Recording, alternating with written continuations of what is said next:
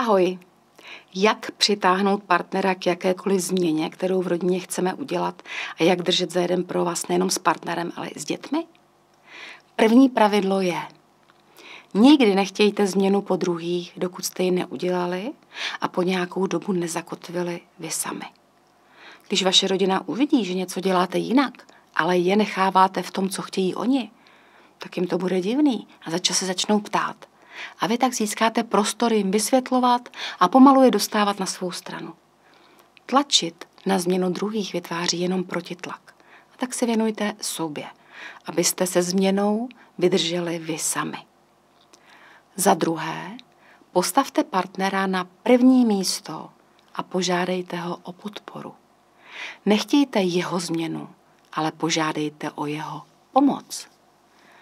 Protože aby rodina fungovala jako tým, musí spolu fungovat partneři.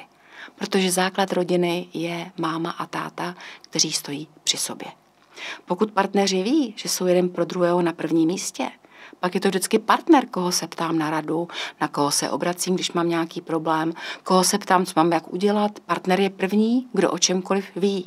A tak je zcela přirozené, že to bude partner, který první bude vědět, že jsem se já rozhodla pro nějakou změnu ve svém životě. A tak řekněte partnerovi, že byste rádi začali něco dělat jinak. A že by vás moc potěšilo, kdyby vás v tom podpořil. Nemusí se k vám hned přidávat, ale jen aby vám prostě pomohl vydržet, protože pro vás je to z nějakého důvodu hodně důležité a chcete v tom vytrvat. Je úplně jedno, co vám partner odpoví. Důležité je, že bude vědět, že vy jste se na něj obrátili pro podporu a pomoc. Za třetí, vtáhněte svého partnera do procesu změny, protože pak vám pomůže se změnou celé rodiny. Protože takhle vy se postupně dostanete do fáze, že i váš partner se rozhodne díky vašemu příkladu k nějaké změně u sebe. Nezapomeňte ho náležitě oceňovat i za maličký krůček, protože slova tohle to vím už dávno, to jsem ti říkala už před rokem, jsou zrazující a odhání partnera nejenom od vás, ale i od jeho rozhodnutí se změnit. Takže chvalte a neupozorňujte, že vy jste dál a víte víc. Naopak, využijte jeho rozhodnutí k tomu, abyste ho víc vtahli i do změny celé rodiny. Například se váš partner rozhodne, že i on přestane jíst uzeniny. Tak ho požádejte, aby vám pomohl v tom přesvědčit vaše děti, aby udělali to stejné. Zkuste říct, že si nevíte rady s tím, jak to už dětem říct, tak jestli by on nenašel způsob, jak to udělat. A nechte to na něm. On začne hledat argumenty. Sám se bude o tom dozvídat víc a víc i pro vás přinese nové impulzy a převezme přesvědčování dětí na sebe a vám se ohromně uleví. U malých dětí je změna stravy snadná. Třeba potraviny, které chceme vyřadit, prostě přestaneme kupovat. Pokud nejsou doma bombóny, tak malé dítě je nebude jíst. Najdeme zdravou náhradu za ty bombóny a tu dítěti nabídneme. Když ji nechce, no tak nechce, hlady neumře a časem si zvykne. Čím je ale dítě starší, tím je důležitější komunikace.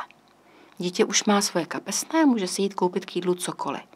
Zakazovat něco vede pouze k tomu, že vám dítě bude lhát. Tak vždycky řekněte, co byste rádi, co se vám nelíbí, proč to pro něj je nebo není dobré, ale nakonec řekněte. Tohle to si myslím já, ale rozhodni se sám. Proč je to důležité? Pokud dovolíte, aby se dítě rozhodlo samo, dovolíte mu také prožít si následky svého rozhodnutí. Co lepšího mu můžete poskytnout než vlastní zkušenost? Stejně si ji někdy bude muset prožít. Tak ať se to naučí co nejdřív. A tak další pravidlo, abyste fungovali jako rodina, jako tým je.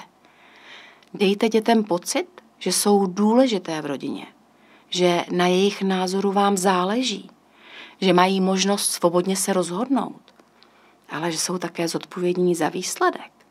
Dejte jim nějakou povinnost. Každý člověk, když dostane funkci, se začne snažit být platný pro všechny. A kam tyhle ty postupné kroky povedou? Dovedou vás k tomu, že si jako rodina sednete a budete spolu mluvit o tom, co vařit, kdo bude co dělat, kdo se o co postará. Budete si vzájemně pomáhat, budete se inspirovat, povzbuzovat se. Vytvoříte tým, který vám budou všichni okolo závidět. Ale ty postupné kroky jsou fakt důležité.